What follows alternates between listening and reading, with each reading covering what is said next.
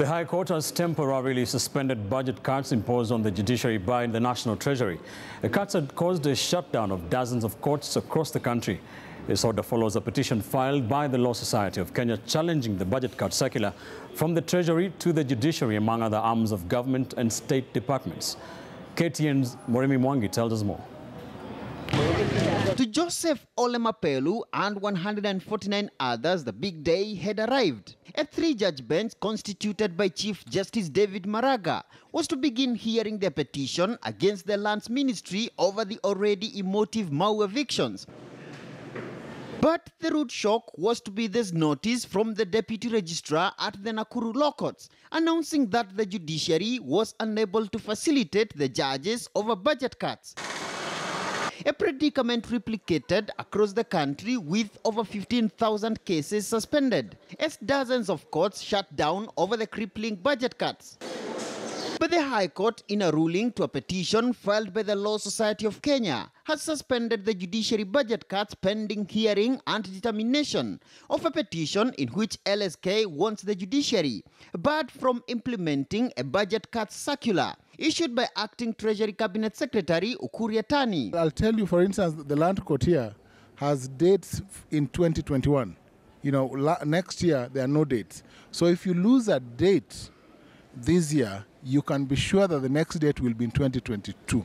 The diary is that bad because we lack judges. There are tribunals that have to move all over the country under the same administration of the court system that then have halted the activities. You have to travel to Nairobi to access the justice.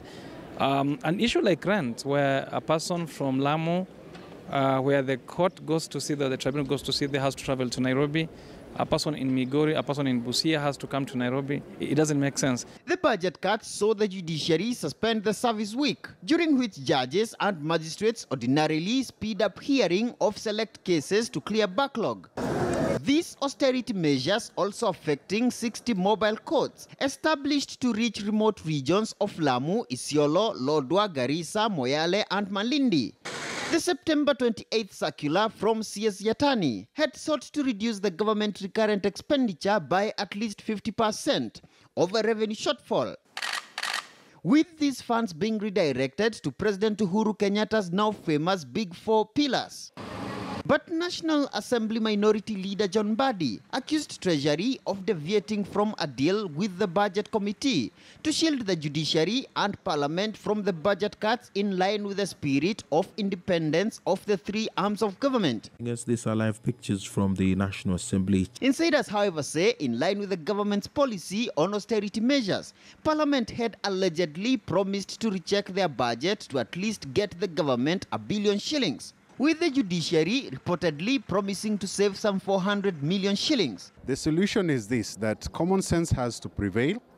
I find it ridiculously weird that we have money to fund private jets for foreign trips, but we don't have money to fund uh, courts. When we are in this state of paralysis, we are affecting virtually every sector Mombasa, which has the highest number of appeals, the, the parties here will be forced to incur an additional cost for the advocates and for themselves to have their matters heard in Malindi. And that also means all, all parties moving from Voi, Lunga Lunga will have to have their appeals heard in, in Malindi. The LSK case resumes on the 6th of November.